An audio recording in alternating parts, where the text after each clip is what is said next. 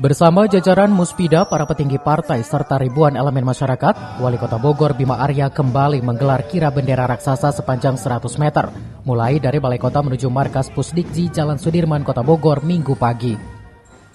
Aksi ini pada mulanya diinisiasi penyelenggara Festival Merah Putih pada dua tahun silam, sebagai simbol kebersamaan dalam kehidupan berbangsa dan bernegara, serta wujud rasa nasionalisme masyarakat Kota Bogor dalam memperingati hari ulang tahun kemerdekaan. Namun akibat pandemi kegiatan bertajuk Bogor untuk Indonesia ini sempat terhenti. Tahun tertunda sekian purnama, alhamdulillah kembali terlaksana.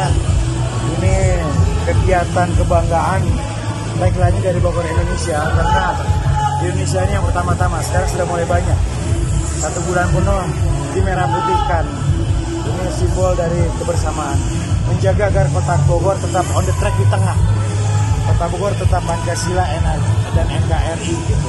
Jangan sampai ditarik ke kanan, ditarik ke kiri. Ini juga edukasi untuk nasionalisme. Simbolnya syarat dengan nilai-nilai ketika kita mengerek bendera dari balik kota ke titik ini. Karena yang mengerek itu di bawahnya berwarna-warni. TNI, Polri, partainya beda-beda, Sayapan, Kang Atang PKS, ya, beda-beda. Tapi semua sama di bawah merah putih alhamdulillah bisa terlaksana dan lancar dan dukungan dari semua. Gitu. Bima berharap aksi ini mendapat dukungan penuh dari seluruh elemen masyarakat Kota Bogor, sehingga keberadaannya setiap tahun tetap terjaga dalam mempersatukan seluruh warga dengan berbagai latar belakang suku, bahasa maupun agama yang berbeda. Dari Kota Bogor, Herman Bons melaporkan.